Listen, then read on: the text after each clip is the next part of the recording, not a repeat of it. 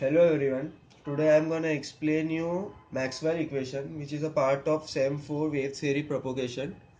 Uh, basically Maxwell equation is Maxwell first equation is based on Gauss law of electrostatics. So we need to understand what is Gauss law of electrostatics. Uh, Gauss law of electrostatics is it states that uh, when a closed surface integral of electric flux density is always equal to charge enclosed over that surface. Now, what is electric flux density? Uh, I'll take an uh, charge over here, a charge Q.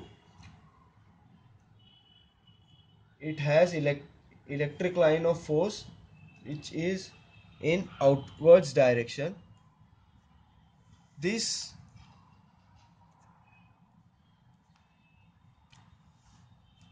this imaginary lines of force is nothing but electric flux density.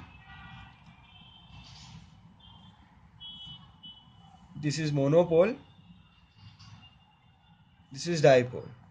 So electric flux density over here will move from positive to negative. This is electric flux density. Okay. And uh, okay. Now mathematically Gauss Gauss law states that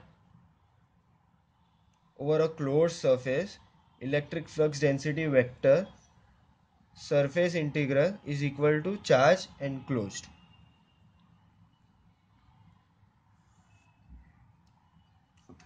Yeah.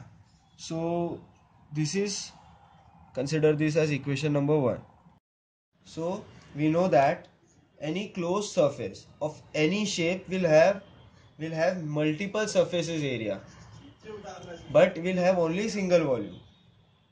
So this surface integral can be converted into a volume integral using Gauss divergence theorem which states that any any closed surface integral of any vector can be can be converted into volume integral by taking divergence of that same vector. So mathematically it is closed surface area of electric flux density will be equal to volume integral of divergence of that vector.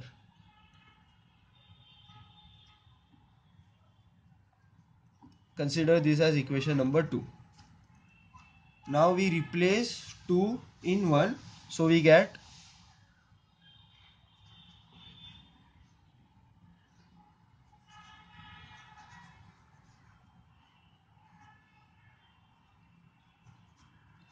consider it as equation number 3 now we know that a body a charge consider this as a sphere having charges distributed over its volume. So volume charge density which is nothing but rho v is nothing but charge distributed over its volume coulomb per meter cube. Now we can use this formula to modify Maxwell equation. I am taking differenti differentiation help dq by dv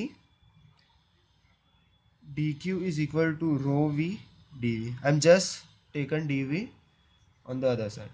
Now now I need to remove the differentiation sign. So we need to take integration. As this is volume so volume will have triple integration. So it will become q is triple integration of rho v dv. This is nothing but equation number 4 4 so charge enclosed within a closed surface is given by volume charge density over that volume.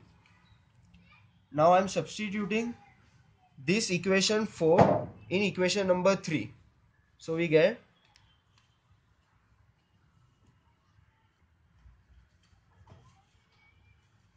triple integration of rho v d.